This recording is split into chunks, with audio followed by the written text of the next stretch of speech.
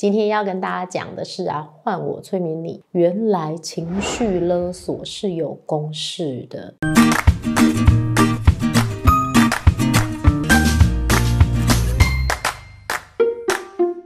嗨，我是凯莉。常常都在说什么情绪勒索啦，那勒索的这件事情啊，一定要有所谓的组成结构嘛，对不对？那组成结构里面呢，很显然的，在这两方的关系当中，一个就是勒索者，一个就是被勒索者。好，那这是一个权力不平等的人际关系。在权力不平等的人际关系当中，常常会建在什么样子的场合或者是一段关系当中呢？例如啊，在工作的场合里面，或者在亲子关系里面，或者在职场里面，或者在朋友跟朋友之间。所以呢，常常有人就说啊，我认真就输了啊，真的啊。如果你有情绪勒索的那种被勒索者的特质，当你遇到了一个情绪勒索者特质的人的话呢，那当然你一定输哦。那可是我输赢很重要吗？其实我们现在就是要打破这个僵局嘛。那如果要打破这个僵局，走出人间清醒的过程啊，我们首先总要理解情绪勒索的公式是什么呢？那我们呢，在传统当中呢，有一个 fog 理论。那 fog 是什么呢？就是 F O G 迷雾理论。什么是迷雾理论呢？其实就是一种啊，你在这其中啊，你其实完全搞不懂为什么跟你本来的性格。大相径庭。你可能本来是一个非常强势的人，你可能本来是一个逻辑性思考很好的人，你本来也是一个非常有原则的人。可是呢，当你落到了这个情绪勒索的状态跟关系当中的时候啊，你就仿佛了，你已经不是你了，你呈现在一团迷雾当中。所以呢，就是所谓的迷雾理论、迷雾感受，你心里呢觉得茫茫不知所措。好啊，那迷雾理论的 F O G 是什么东西呢？第一个 F 就是 fear，F E A R，fear 恐惧。我们现在在做英语教学哦。然后第二个 O 呢是义务，obligation，好，obligation 的 O 义务。接下来呢，第三个 G 是什么？罪恶感，guilty，是不是很赞赞？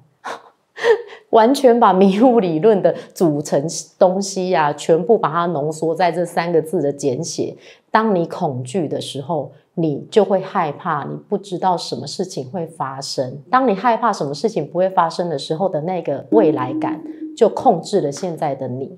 好，那接下来呢？当你觉得有义务感的时候，你没有做，你就觉得你错了，所以延伸而来的就是巨大的罪恶感。一个人呢，通常被压垮的呢，都是自己对自己的恐惧，跟自己对自己的自责，还有各种的批评。所以呢，当你呈现在这种所有的负面感受的情境之下，你为了避免这样的情境感受，那是不是一个被勒索者？你通常就会呈现了一个迷雾状态。那当然，你就是一个这么好吃的肉，一个勒索者只要看到你，他不吃吗？这么好吃，我为什么不吃？那好，那在情绪勒索当中呢，就有两个角色了嘛。我们刚刚所说的就是一个就是勒索者，一个就是被勒索者。好，那勒索者呢，他会有什么样子的一个状态表示呢？就是他可能在有意识当中或无意识当中会去使用要求、威胁，还有施展压力，还有一个沉默。不是沉默是金哦，而是沉默的手段，让你去感到我们刚刚所说的迷雾感受，就是让你感到恐惧。你会恐惧他的威胁，然后呢，你也会恐惧他的沉默，因为你觉得他不开心，你害怕他的不开心造成你们之间关系的破裂。然后呢，他的要求如果你达不到的时候，或你真的不想做的时候，你就会有深深的罪恶感。太可怕了吧？是不是常常大家都陷入这一种迷雾状态？想一想，你在什么关系当中？在我们刚刚所说的那四种关系当中，职场、亲子、伴侣，还有朋友当中，你被谁情绪勒索了呢？你被情绪勒索的时候，你感受是什么呢？好，好，那刚刚我们讲到的就是勒索者的部分。接下来我们来讨论一下，那被勒索者又是什么样子的状态？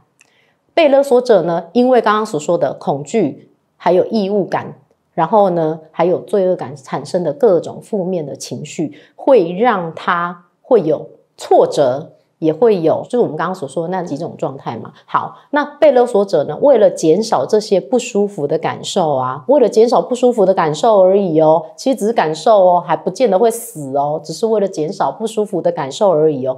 那他就会因为这样越来越加重，越来越加重。那我们在催眠的那个理论当中啊。同样的东西一直施行在你身上，当你习惯，就成了自然。这个自然是很恐怖的，不是大自然的自然哦，而是它就像呼吸一样自然的恶性循环。你根本不会发现你是在这个恶性循环当中，因为它已经成为你的日常的一部分了。这个就是一个可怕的魔咒。魔咒来自于哪里？来自于你其实忘了这是一个咒。好好，所以没有办法摆脱了这件事情啊。那被勒索者最终他的自我啊，就在这个过程当中啊消耗殆尽，是不是很可惜、很可怜？所以很多人常常在一段关系当中无可自拔，深陷的无可自拔，常常因为很痛而觉得爱，但事实上痛就是痛，有可能是爱，但痛不见得就是爱。可是因为人常常在这一种关系当中啊，痛习惯了，反而觉得没有痛就不是爱，哇，这个实在太可怕了。所以啊，这种魔咒啊，我们是不是可以学着去把它打破？但如何学着去把它打破呢？首先，我们当然就是刚刚所说的嘛，刚刚那几个步骤啊，稍微把它理清清楚。你要如何在自己身上去探索，是不是你有容易被勒索的人格特质呢？那首先呢，就我们刚刚一开始所说的嘛，你的 F O G 理论嘛，在你的各种关系当中，只要你常常会出现恐惧感，爱不会有恐惧的；然后义务感，爱不会逼着你去做哪些事的；然后你有罪恶感，爱不会让你觉得你是错的。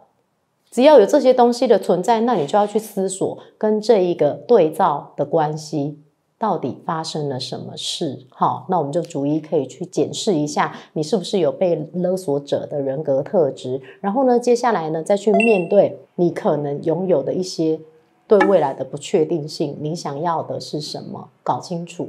好。那接下来再懂得去做一个简单的自我保护，一切都从最简单的方式开始，先去检视，先停住，先不要有作为，这个就是最简单的自我保护。你一定要从一趴开始，我们不要一次做到一百趴嘛，从一趴开始，你先停住，先做出跟以往不一样的行为，那么你就有机会先在这个暂停一秒钟的时候。去理解到你是不是在一段不好的关系里头。好，好，那我们今天的情绪勒索先讲到这里哦。我们下一次会跟大家解析一下什么是最常被勒索的情绪勒索的特质的五种人。OK，拜拜。